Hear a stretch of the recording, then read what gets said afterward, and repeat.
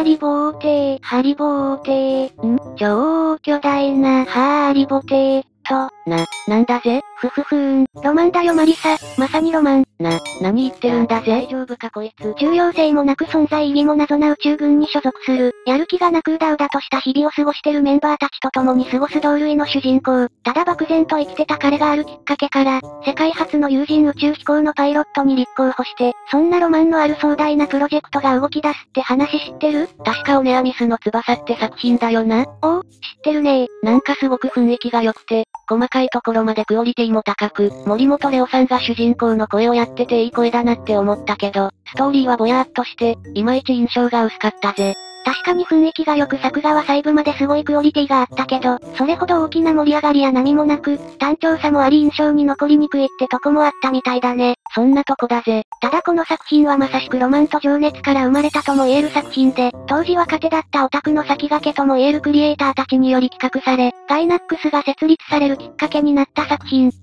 すごい話だぜ。細部までこだわられた作画にロマンのあるストーリー。今では有名な方々が情熱を費やした作品でもあり、庵野秀明監督からもこの作品が最高峰と言わしめるほど。ま、マジか？とは言っても2014年の話だから今では違うかもだけど、それでもすごいぜ。それじゃ今回はガイナックス設立のきっかけで、バンダイが初めてアニメ制作を手掛けた作品でもあり、多くの人に影響を与えたとも言える作品、王立宇宙軍オネアミスの翼を紹介するよ。おう、よろしく頼むぜ。舞台はもう一つの地球、1950年代に似た世界、異国情緒あふれる石造りっぽい建物や街並みに、路面電車や水路に変わったオブジェなど異世界的な要素もあり、主人公サイドが話す言葉は普通だけど、使われてる文字は特殊なもので、敵国が使う言葉やテレビっぽいものから流れる言葉は独自のものが使われてて、まるで異世界に行ったことあるけど的な話の参考にされたような雰囲気がある世界。一時すごい話題になったりしたな。彼らが住む世界はオネアミス王国で、正式名称はオネアマの事件ミナダン王国連邦みたい。な、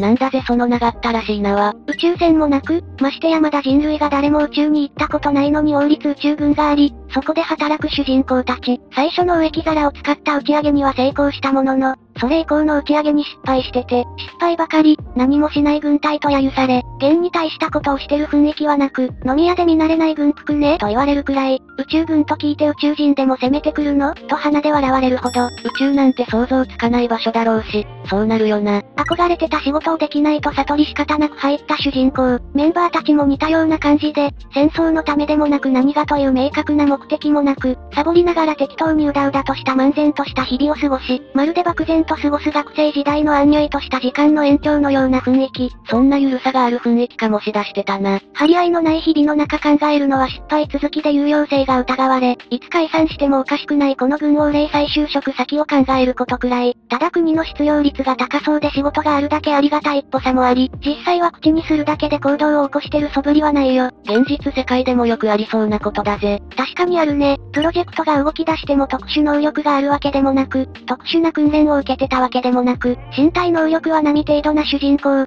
訓練は毎回散々で、戦闘機訓練ではゲロを吐くほど。まあ普通の人間が戦闘機のアクロバティックなスピードを体験したらそうなるぜ。喧嘩になって顔面にぶちまけたっぽいよ。そ、それはエグすぎるぜ。けど宇宙飛行士候補なら能力も高そうだし、色々としてそうな気がするけどな。不人気職っぽいし、け焼き場感のあるメンバーだしね。宇宙軍が宇宙軍なら現場も現場で、責任者のほとんどはコミュニケーションも取れないような老人ばかり。知識はあるのかもだけどちょっとボケてる感も否めなく、そんなポンコツ感もあるメンバーたちが挑むプロジェクトってとこもあったよ。かなりギリギリ感がある老人ばっかだったぜ。一触即発な雰囲気もある隣国との絡みや、見え隠れする政治的な側面なんかもあり、意外と深く入り組んだストーリーでもあるよ。主人公の感情の浮き沈みなんかもあったな。ストーリーは主人公の若い頃の回想と、平凡な生まれや、仕方なく宇宙軍に入ったなどのナレーションで始まり、やる気なく物思いにふける主人公、時間を気にし外に出てを吐かえ、ユニークな格好をした集団による葬式が取り行われてて、主人公は遅れて葬式に参列して、その格好は礼服だったみたい。帽子の上に伸びた羽が印象的だったぜ。怒られながらも配置につく主人公、戦友の葬式だけど宇宙服の実験中をしっこの袋で漏電したみたい。そ、そりゃたまんないぜ。司令官は友人宇宙飛行を計画し、彼に殺されたようなものだと文句を垂れるメンバー。まあ業務上の話だし難しいとこだぜ。訓練所ではサボりながら仲間とうだうだ小話をする主人公。仲間が猿と指導官に見つかり説教され、仲間は蹴り倒される始末。サボる方が悪いしな。訓練自体にあまり意味もなさそうだけどね。仕事終わりにバーで仲間の弔いの乾杯をして、仲間とゲームをしながらうなだれ、知らない人からは旗目で宇宙軍と笑われる始末。小さい車に乗り切れないほど相乗りして騒ぎながらめちゃくちゃな運転をし、友人に連れられ歓楽街へ行き、おごってくれると言われたのに、馴染みの女の子に声をかけられ置いていかれる羽目に、暇を持て余した第二の青春って感じだぜ。仕方なくあたりを見て回ると、宗教的な話をしながらビラを配る女性が気になりそれをもらい、気がつくと同僚の看護家の上で目覚める主人公。よ、よくそんなとこで寝れるぜ。洗面所に行くと仲間から顔に映ったビラの文字を読まれ、手にはビラを持ってて、休日なのでそのままその住所へ行き女性を訪ねることに。すごい行動力だぜ。玄関先で子供に声をかけるけど返事はなく、チャイムを鳴らすと不審者と思われ締められ、チラシを見てきたというと人が変わったように丁寧に招き入れられ、食事があると席に案内され小話をしてると無口な子供が現れ、坊やと声をかけると女の子ですと。小さい子はわかりにくかったりするしな。お兄ちゃんに皿を渡してと頼むと、鼻くそをほじりその手で渡されることに。じ、地味に嫌な奴だぜ。食後の小話の後何についてお悩みか？と聞かれ、それらしく同僚が亡くなったことをネタにして、仕事を聞かれ宇宙軍と伝えると、素晴らしい仕事だと褒められ、なんかすごく嬉しくなっちゃって、乗ってきてやる気が出ちゃった感じ。乗せられやすそうなタイプだぜ。翌朝仲間たちは過去の打ち上げ失敗映像を見ながら効果音をつけてて、なんかすがすがしい気分の主人公が現れ、映像講習かと感心すると、ここで笑える映画はこれしかないからなと。不謹慎だぜ。なんか有頂天な気分の主人公に、脳みそにひびでも入ってるんじゃないかとあしらうメンバーたち。みんな全然聞いてない指揮官の演説を主人公は食い入るように聞いて、初の有人宇宙飛行の計画を立てたので立候補者はいないかと尋ねると、一瞬場が静まり、そこへ立ち上がり、私が志願しますと主人公。え、影響されすぎだぜ。めちゃくちゃのぼせ上がっちゃってるね。指揮官さえ驚き、他に候補者もなくプロジェクトに選ばれることになり、解散後に死ぬぞや巻き込むなと文句満々のメンバーたち。予想外なことが起きた感じだぜ。その後メンバーたちを巻き込みながら主人公の訓練が始まり、もともと評価点が非常に低かったこともあり、著しい伸びは見られたけど波程度になったくらい。まあいきなり完璧にはなれないよな。司令官の命令で空軍に戦闘機を借りて飛行や速度になれる訓練をして、その上空の景色に感動するけど、着陸後に具合が悪くなり、さらに空軍とメンバーが揉め始め、巻き込まれた主人公は相手にゲロをぶちまけるほど、ぐ、具合悪くなりそうだぜ。プロジェクトが本格的に動き出し秘密工場でロケットの開発が始まり、かなりすごいものが作られてるけど、責任者となる宇宙旅行協会の面々は、リーダーを除いて話さえできなさそうな老人ばかり。それでも共に協力して開発が進められ、主人公の訓練の日々が続き、エンジンテスト時のトラブルで要だったリーダーが亡くなり、過激派の行動も疑われ始め、この件を引きずり気落ちしていく主人公だけど、世界初の宇宙飛行士候補として有名になっていく彼、複雑な状況だぜ。ヒロインサイドでも家族の借金が元で家を追い出され知り合いを頼ることになり、上層部の黒い思惑により発射場所が敵国近くの干渉地帯に変更され、様々な物事を目にして心が擦れていく主人公、大規模なインタビューの後突然姿をくらませ、ヒロインの元へ転がり込み無気力な状態で世話になるけど、着替えに行ったのに浴場してしまい、レイプしようとするなど人間の裏の感情が剥き出しになるなどあり、か、かなりヤバすぎる展開だぜ。まあ頭を殴られ気絶して未遂に終わったけどね。それでも感慨深いぜ。ただ二人の関係は悪くなったわけではなく、不均衡で歪な関係ながら繋がってはいる感じ。さらに隣国からこのプロジェクトに目がつけられ、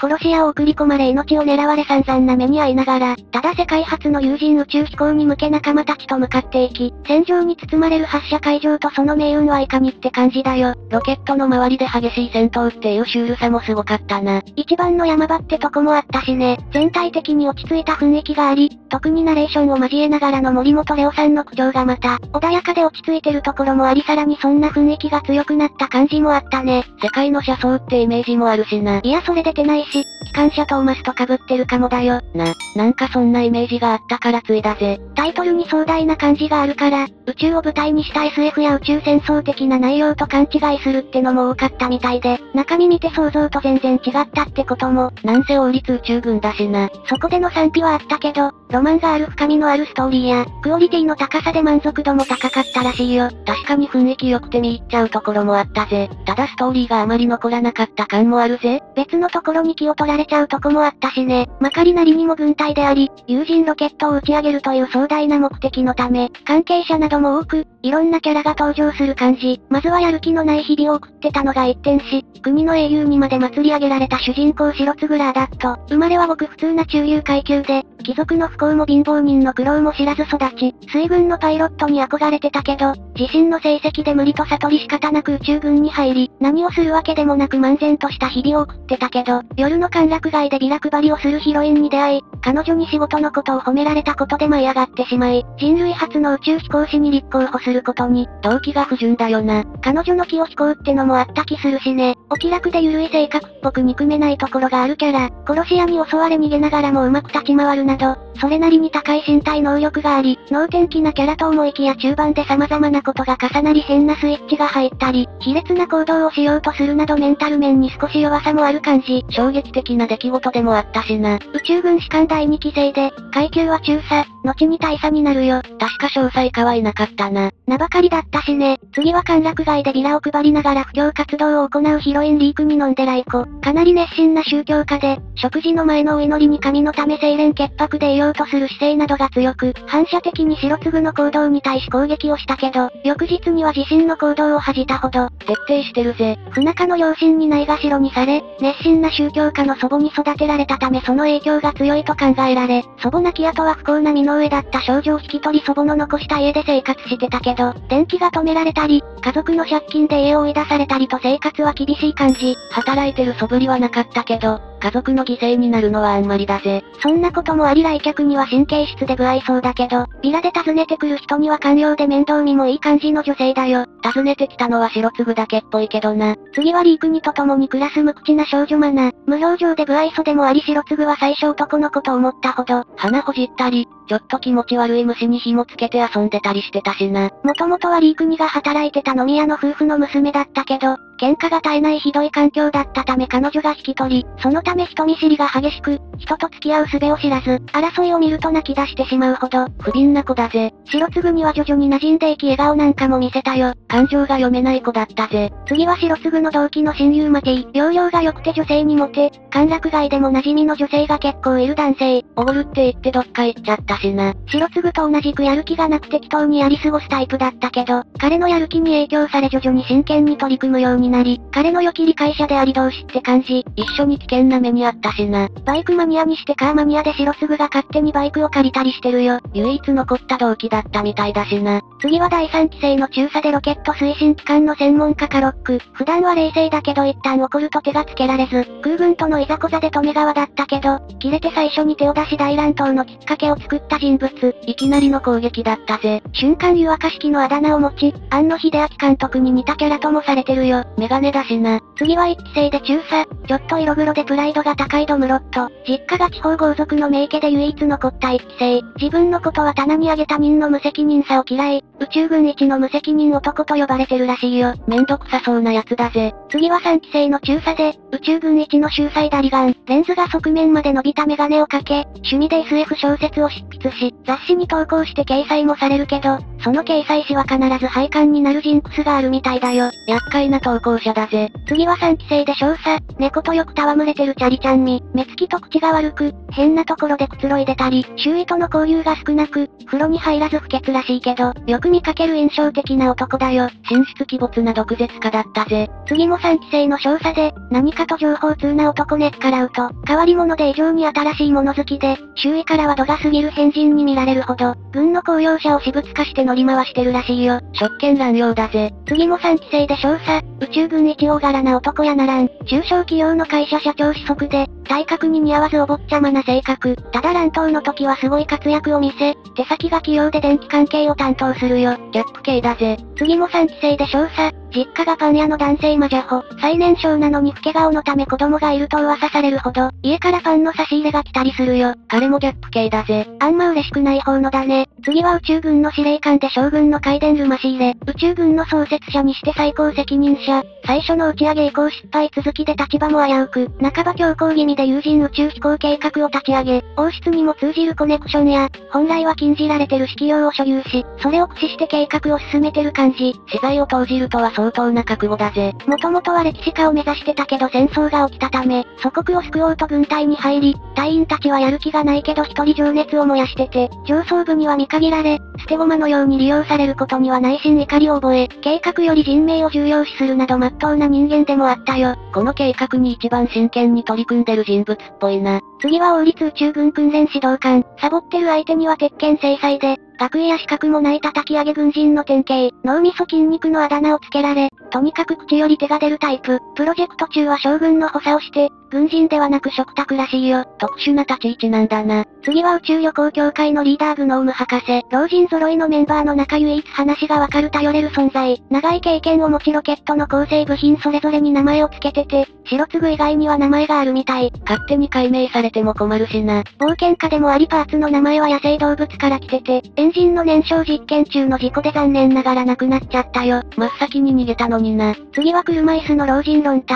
宇宙旅行協会博士でまだ話が通じる方だけど、まだ完成してない水素エンジンをロケットに組み込もうとするなど、とんでもなことを強行しようとする人物。打ち上げ場所が変わったことを知ったマティに詰め寄られ、すごいスピードで車椅子を押され場所確認に連れてかれ、打ち上げに有利になるからととぼけたことを言ってたよ。理屈はそうだけど現実では危険すぎる場所だしな。次も宇宙旅行協会の博士で目が大きいデクロ、ロンタが攻められてる時に、総称の命令だからと弁明を入れた老人だよ。途中からゴニョゴニョ言ってたな。次は将軍が計画の説明に行った王国貴族の3人。1人は国防総省で大物って雰囲気、同じ国だけど独自の言葉を使うみたい。将軍がたどたどしく変な言葉使ってたしな。宇宙軍自体を見限ってて、今回で引導を渡そうと考え、他国に干渉させ捨て駒としての利用を考えてたよ。腹黒い感じがしたぜ。次は敵国共和国の政治局次官ネレットン。オメアミス王国の宇宙戦艦計画は、各国の平和を脅かすものとして反対しており、計画阻止のため部下が殺し屋を送ったことには、穏やかじゃないというものの容認してて、ロケット発射場への進行の指揮を取ったよ。敵国から見たら危険視するのは妥当だぜ。最後は白継暗殺のため共和国警察局から送られた殺し屋、打ち上げ計画阻止の時間を稼ぐため、白継を必要に追い回し、周囲に怪しまれないように老人に化け、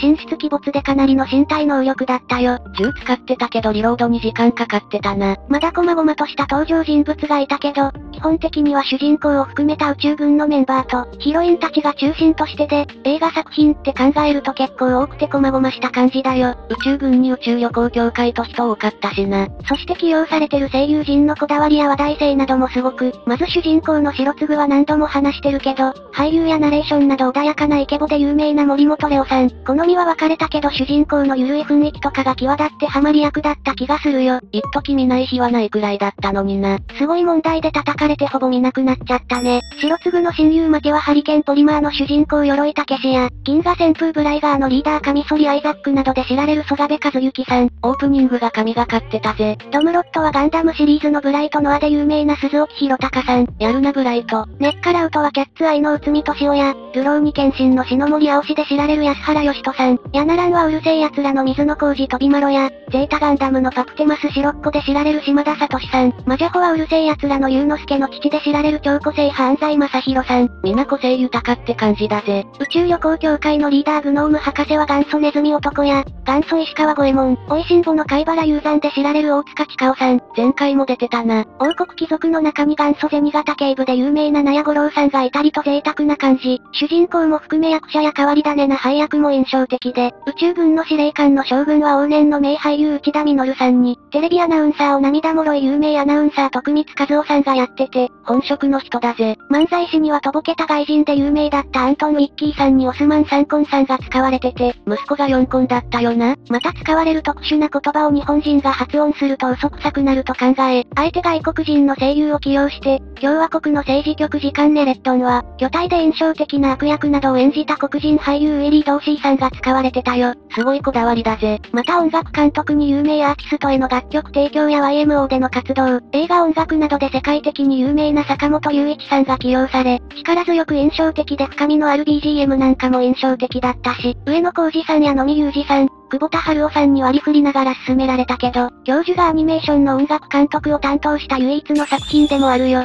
す、すごい話だぜ。けど4000万くらい予算がかかったみたいだよ。そりゃビッグネームだしな。制作陣は今ではそうそうたるメンバーであり、外部からもすごい人たちが携わったりさすがといった作品で、ただ若手のアマチュア集団が、この劇場版の対策制作は異例なことであり、いろんなドラマがあったみたい。何があったんだ？始まりは大阪芸大時代に山賀博之さんが庵野秀明さんに出会い、そして同じ大学の赤井高美さんに出会い、第20回日本 SF 大会のオープニングアニメーション大コン3制作に誘われ、岡田敏夫さんや武田康弘さんらと共に同人制作集団大コンフィルムに参加して、学生主体の低予算アニメーションながら高いクオリティの作品を作り上げ、本来はここで終わる予定だったけど、培った経験とチームワークが失われることを惜しみ、次の開催を目標にしてそのプロジェクトは継続を続け、なんかすごい青春って感じだぜ。岡田さんが火の一部門として、SF グッズ専門店ゼネラルプロダクツを立ち上げ、武田さんと共に運営を行い、大コンフィルム作品の映像ソフトとグッズの利益を次の制作費に充て、山賀さんと安野さんはスタジオヌエから誘われ、超時空要塞マクロスのスタッフとして参加して、赤井さんの紹介もあり前田真宏さんやその先輩貞本義行さんとの出会いや、板野一郎さんとの交流もでき、次の作品大根法ではプロのアニメーターの協力もあり、さらにすごい作品が出来上がり注目を集め、すごいつながりや進展だぜ。その後も自主制作作品を作り若手の樋口真嗣さんなんかも合流したんだけど、怒り真嗣の名前の元になった人だな。ただある程度の知名度をつけて一部では知られる存在になってきた山賀さんは、プロになりたいけどその方向性について暗中模索の状態で、そこに不倫問題で窮地に立たされ大阪に居場所をなくしてた岡田さんを東京進出に誘い、共にプロを目指した安野さんと赤井さんも誘ったけど、安野さんは風の谷のナウシカの募集に通り、別口で東京に行くことになったみたい。決断の時って感じだぜ。そして OVA の企画として発案されたこの企画は、喫茶店の打ち合わせ中に隣の客が頼んだロイヤルミルクティーから、ロイヤルスペースフォースという言葉が浮かび、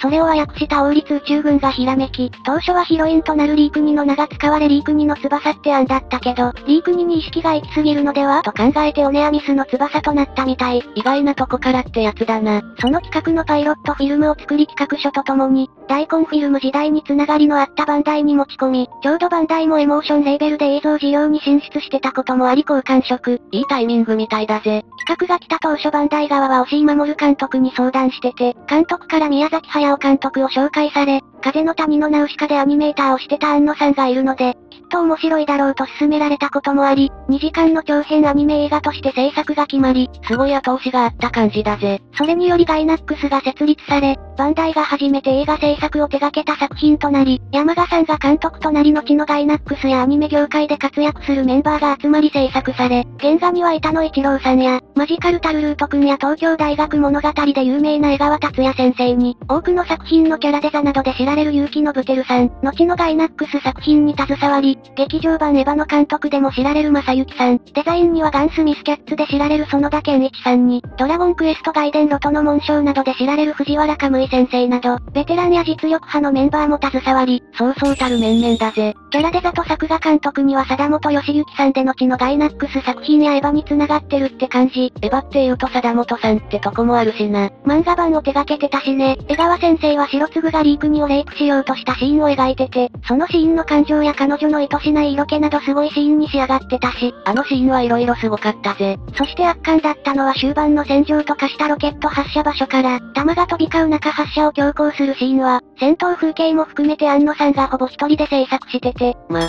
マジか？戦闘シーンの迫力もすごかったけど、特に発射に至るシーンがとてつもなく、発射時のエンジン点火に伴う激しい爆発と煙の動きに、固定切り離しの際に剥がれ落ちる氷の描写に、発射角度は直上ではなく軌道を書くように曲がってるところや、雲を切りながら上空に上がっていく姿を見上げる人々に、飛行中の揺れや、エンジン切り離しの際の大きな揺れなどほんと圧巻な作画。確かにめちゃくちゃすごいシーンだったぜ。感情の動きってのは色濃かったけど、激しさなどストーリーの波は比較的少なめの中、まさしくクライマックスにふさわしいと言えるシーンだったし、ただそういった緩やかに流れるシーンの作画レベルも神がかってたとこがあり、細部までこだわられ当時でも群を抜いてて、翌年にアキラが上映されアニメ界に革命を起こしたとされてるけど、作中に使用される小物一つとってもデザインにこだわりが詰められ、アニメだからデザインの統一性を出して同じものや似たようなものにするのではなく、統一性がなくてもその場所に必要なものや、均一なところから日常にあるような、生活感やリアリティがある世界観が作られてるところもあり、超絶な作画レベルなどこの作品でもある種の革命が起こされてたとこもあるよ。確かに影響を受けた人が多い名作って言われてるしな。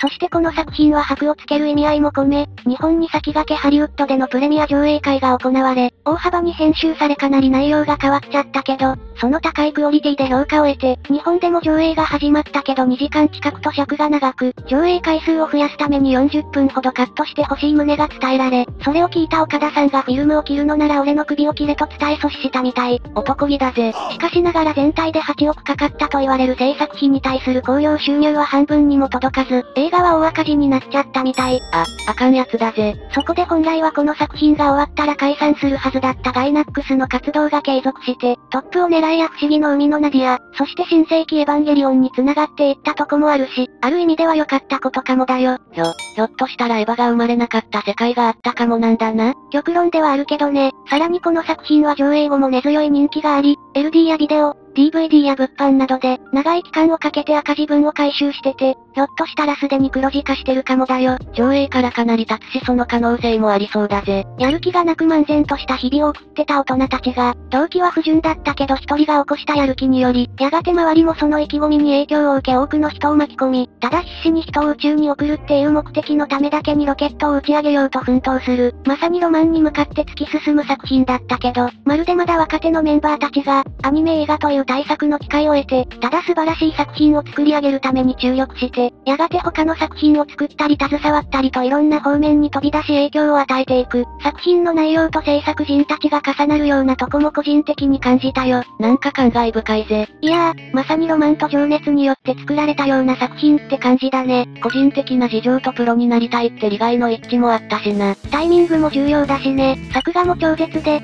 制作陣もすごく、声優陣もベテランから変わり種とこだわりがすごかったし、ストーリーの波は少なめだったけど終盤の盛り上がりは圧巻だったし、細かいところまでこだわられたすごい作品だったね。こうやって色々と聞くとすごい作品だなって感じたぜ。もともとはパロディが多い作風で、ガイナックスの他作品もいろんなパロディが出てくるけど、この作品ではその要素が一切なく、ただ登場するメカ類の設定などは全て細かく設定されてるなど芸の細かさがあるよ。トップを狙いや不思議の海のナディアでもそうだったな。興行収入的には大赤字になっちゃったけど、結果的にはガイナックスが継続して後の超大作エヴァに繋がっていったとこもあったし、業界に大きな影響を与えた作品でもあったね。ほんと感慨深い話だぜ。この続編となる青木ウルという作品が進行中で、ホリエモンも協力して、声優のオーディションなんかも行われたけど、未だに実現してないのが現状だね。すごい対策になりそうだし気になるところだな。生き証人でもあるオタキングさんこと岡田敏夫さんが活動されてて、もっと深くて間違いのない話を色々とされてると思うので、間違ってる部分もあると思うし、私ごときがおこがましい話ですが、素晴らしい作品ってのは間違いないと思うよ。そこはもろもろ確かだぜ。いやー、アニメって本当にいいもんですねそれじゃ皆様、さよなら、さよなら、さよならだぜ。